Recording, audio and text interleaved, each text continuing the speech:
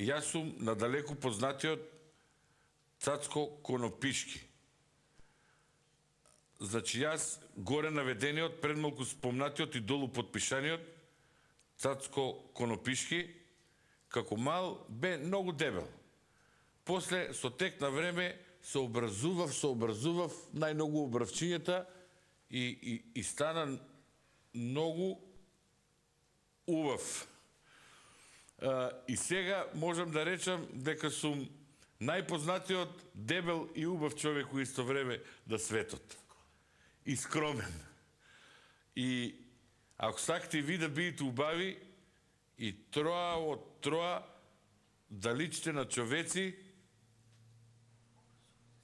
образувајте се и вие и поддржите и издржите уствари ва акција, ове кампања. Како беше?